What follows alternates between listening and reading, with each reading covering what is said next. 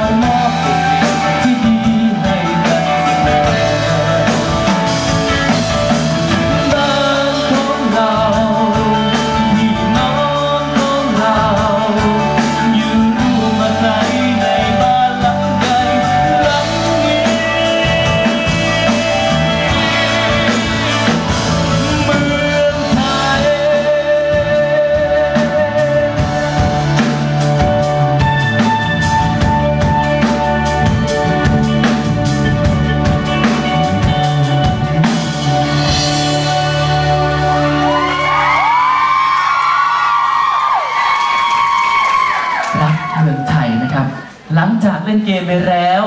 ฟังเพลงสนุกสนุกไปแล้วนะฮะอะร้อดีเหรอพอดีเป็นโกโบรี่ไงพูดไทยไม่ชัด